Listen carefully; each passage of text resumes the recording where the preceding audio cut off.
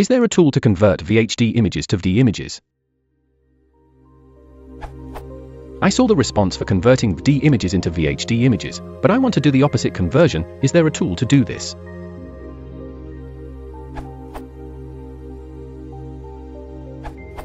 Adapting one of those answers, you could use VBoxManage. VBoxManage cloned source.vhd target.vdi format VDI.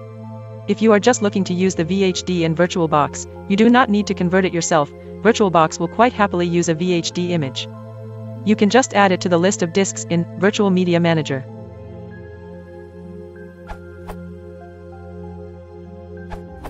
It is better to convert VHD to VDI because when you need to periodically compact the VHD to recover space, you cannot use VBoxManage to compact. You will have to use the virtual PC disk wizard to compact otherwise.